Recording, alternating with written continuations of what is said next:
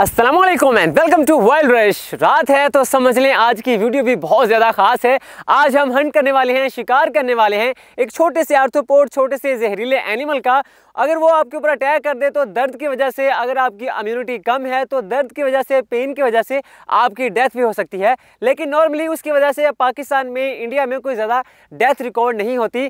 आज हम ढूँढने वाले हैं उसको इस यूवी लाइट से, क्योंकि इस यूवी लाइट के थ्रू उसको ढूंढना बहुत बहुत बहुत ज़्यादा आसान होता है। उस एनिमल को शैतान की परेशानी की और मौत की अलामत समझा जाता है। तो आज की वीडियो बहुत ज़्यादा इंटरेस्टिंग और इन्फॉर्मेशन से भरपूर होने वाली है। बने रहेगा मेरे साथ और देखते रहेगा वाइल्ड रश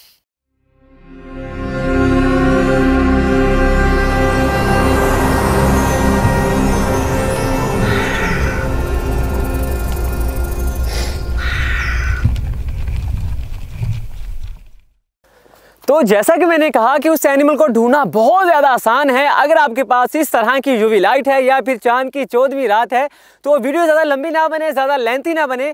इस वजह से हमने पहले से ही उसको इस यूवी लाइट के थ्रू ढूंढ रखा है। अभी हम जो है कैमरा की लाइट को बंद करेंगे ताकि आपको नज़र आए कि वो इस यूवी लाइट में किस तरह से नज़र आता है और कितनी आसानी के साथ आप उसको इस यूवी लाइट के थ्रू पकड़ सकते हैं। उम्मीद है मैं आपको बहुत ही भद्दा सा नज़र आ रहा हूँ लेकिन यकीन करें इस लाइट के थ्रू एनिमल को ढूंढना बहुत ज़्यादा आसान होता है तो ये देखें। हेयर वी गो ये रहा हमारा आज का सब्जेक्ट हमारा आज का एनिमल जो कि एक छोटी सी झाड़ी के नीचे जो है छुपा हुआ है। तो अभी मैं इसको थोड़ा सा हिलाता हूँ ताकि आपको क्लियर नज़र आ हेलो दोस्त तो ये देखें, ये रहा हमारा आज का सब्जेक्ट हमारा आज का कंटेंट हमारा येलो फैट टेल स्कॉर्पियन तो अभी जो है, इसको थोड़ा सा और भगाता हूँ ताकि आपको क्लियर नज़र आए कि यह किस तरह से जो है नज़र आता है। ये देखें। तो अभी मैं जो हूँ, इसको पकड़ता हूँ और फिर हम कैमरा की लाइट को दोबारा ऑन करेंगे ताकि इसकी इंफॉर्मेशन इसकी डिटेल में डिटेल के साथ आपके साथ किसी अच्छी सी जगह पे बैठ के शेयर कर सकूँ। आ तो ये देखें।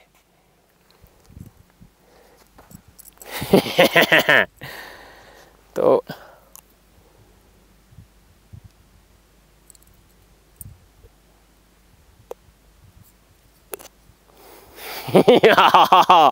तो अभी मैंने इसको पकड़ लिया है। अब आ रही है इसकी इंफॉर्मेशन शेयर करने की। तो लाइट करते हैं हमारे कैमरा की। ऑन तो अभी आप जो मेरे हाथ में ड्रामना और ख़तरनाक सा नज़र आने वाला छोटा सा आर्थोपोड छोटा सा एनिमल देख रहे हैं, इसको फेटेल स्कॉर्पियन कहते हैं। स्कॉर्पियन की दुनिया में 2000 से ज़्यादा इकसाम जो है पाई जाती हैं। 40 के करीब इस तरह की इकसाम है। अगर वो आपके ऊपर अटैक कर दे तो आपकी डेथ हो सकती है। हमारा येलो फेटल स्कॉर्पियन अगर आपके ऊपर स्टिंग अटैक कर दे और अगर आपकी पेन बर्दाश्त करने की इम्यूनिटी कम है, तब आपकी जो है डेथ हो सकती है। अगर ये छोटे बच्चे के ऊपर अटैक कर दे तो पेन की वजह से जो है डेथ हो सकती है। लेकिन इसके अंदर जो है वेनम की इतनी टॉक्सिटी नहीं होती कि किसी जो है इंसान की डेथ हो सके। सबसे पहले आप इसके जो हाथ से आपको ख़तरनाक ड्रामे नज़र आ रहे हैं, इनको पिंजर्स कहते हैं, इनको पेडिपल्स कहते हैं, इन्हीं के थ्रू जो है ये अपने शिकार को पकड़ता है और उसके टुकड़े टुकड़े करके उसको खा जाता है। तो अभी इसके पेडिपल्स इसके पिंजर्स में कितनी ताकत होती है पावर होती है अब ये देखें, आप अंदाज़ा इसी से लगा लीजिएगा।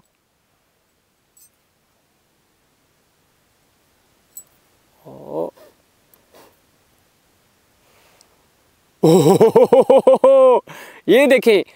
ओ तो इसके पेडिपल्स में कितनी ताकत है, आपने अंदाज़ा लगा लिया होगा। तो अभी छोड़ भी दे भाई।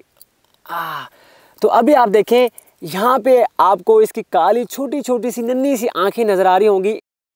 और इसके चार पेयर्स ऑफ़ लेग्स मिलकर फोर पेयर्स ऑफ़ लेग्स इसकी टांगे होती हैं वॉकिंग लेग्स होती हैं, जिनके थ्रू ये बहुत तेज़ी के साथ स्पीड के साथ भाग सकता है। इसको छोड़ूँगा भी ताकि आप इसकी स्पीड का अंदाज़ा लगा सकें।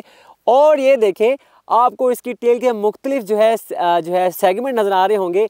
एक, दो, तीन, चार, पाँच। इसको मेटासोमल सेगमेंट्स कहा जाता है। ये पाँच होते हैं और पाँच के ऊपर सबसे है ख़तरनाक चीज़ जिससे हमें बचना है, इसको कहते हैं विनम बल्ब। ये देखें, उम्मीद है आपको नज़र आ रहा होगा ये। कितना तीखा है, बिल्कुल एक नीडल एक सुई की तरह से। इसके अटैक की इतनी स्पीड होती है कि आपको पता तब चलता है जब ये अटैक कर देता है। तो इसके वेनम में 45 के करीब मुख्तलिफ़ तरह के टॉक्सिन मौजूद होते हैं। अगर ये आपके ऊपर अटैक कर दे तो ये आपके नर्वस सिस्टम पे अटैक करता है। आपको इतनी ज़्यादा शदीद पेन होती है अगर इसने हाथ पे जो है स्टिंग अटैक किया है, मैं आपको बताऊँ कि इसने मेरे ऊपर कई बार जो है अटैक किया है। आपको इस तरह की पेन होती है कि जैसे अगर आपने किसी शापर के ऊपर आग लगाई है, जिस तरह से वो शापर कतरा कतरा करके पिघलता है, आपको फील होता है कि आपका वो हाथ जो है इस तरह से पिघल रहा है। तो जब भी आपके ऊपर अटैक करे, आपने कोशिश करनी है टाइम ज़ाया किए बगैर आपने उस बंदे को, उस पेशेंट को जो है सरकारी हॉस्पिटल में ले जाना है, वहाँ पे उसका ट्रीटमेंट करवाना है।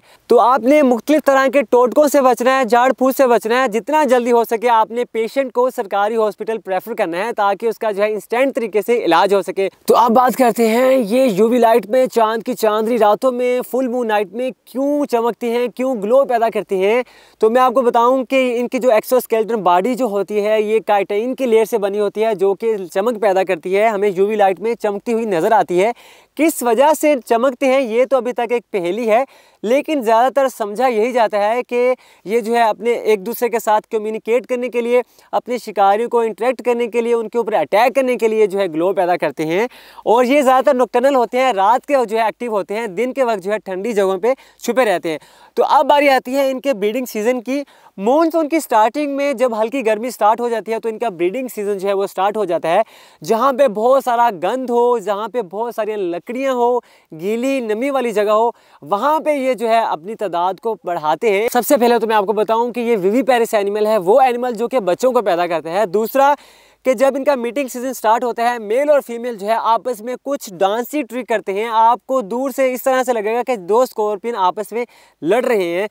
तो जब भी आपको दो स्कॉर्पियन आपस में अजीबो गरीब हरकतें करते हुए नज़र आए, समझ लें कि इनका ब्रीडिंग सीज़न जो है वो स्टार्ट हो चुका है। तो एक फीमेल स्कॉर्पियन जो है 25 से लेकर 45 तक धन्य मने स्कॉर्पियंस को पैदा करती है और पैदाइश के बाद उन बच्चों को अपनी पीठ के ऊपर सवार कर लेती है। ज़्यादातर लोग समझते हैं कि वो स्कॉर्पियन अपनी माँ को खा जाते हैं, लेकिन ऐसा नहीं है। ऐसा तब होता है जब बच्चों को खाने के लिए कुछ ना मिले।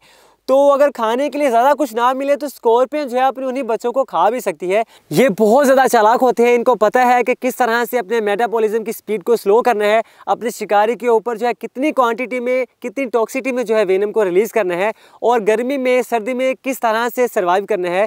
ये जो है कई हफ्तों तक, कई महीनों तक बगैर कुछ खाए पिए तक जो है सर्वाइव कर सकते हैं, ज़िंदा रह सकते हैं। तो अब बारी आती है इनके जो है खुराक की, ये क्या चीज़ें खाते हैं? ये हर तरह के, मुख्तलिफ़ तरह के छोटे जो है इंसेक्ट्स को खाते हैं, मुख्तलिफ़ तरह की स्पाइडर्स को खाते हैं। अपने ही नस्ल के स्कॉर्पियंस को, छोटे स्कॉर्पियंस को खा लेते हैं लीजर्स को खा लेते हैं, छोटे रेप्टाइल्स को खा लेते हैं। तो अब बारी आती है इनके प्रीडेटर्स की, इनके शिकारियों की, इनको किन से खतरा होता है? तो है जो जिसको कांटे वाला चूहा कहते हैं वो इनका शिकार करता है, मुख्तलिफ़ तरह के बर्ड्स इनका शिकार करते हैं, चूहे इनका शिकार करते हैं और ये आपस में ही एक दूसरे का शिकार करते रहते हैं। तो इसका लाइफ टाइम लाइफ स्पैन बहुत कमाल का होता है, ये छः से दस साल तक ज़िंदा रह सकता है, हर तरह के इन्वायरमेंट में ये ज़िंदा रह सकते हैं। तो ये थी हमारे आज के सब्जेक्ट हमारे आज के कंटेंट येलो फैटेल स्कॉर्पियन के बारे में शॉर्ट सी ऑथेंटिक इन्फॉर्मेशन अगर आप इनके बारे में कुछ भी जानते हैं तो कमेंट सेशन में वो इन्फॉर्मेशन ज़रूर शेयर करिएगा। तो उम्मीद है आपको मेरी ये वीडियो पसंद आई होगी। मिलते हैं किसी और जगह पे, किसी और एनिमल रेप्टाइल बर्ड के साथ। तो अब टाइम है इसको रिलीज़ करने का, ताकि ये किसी का शिकार कर सके या खुद किसी का शिकार हो जाए। तो दोस्त, एक पप्पी तो बनती है। बाय बाय भाग जाओ भाग जाओ भाग जाओ भाग जाओ।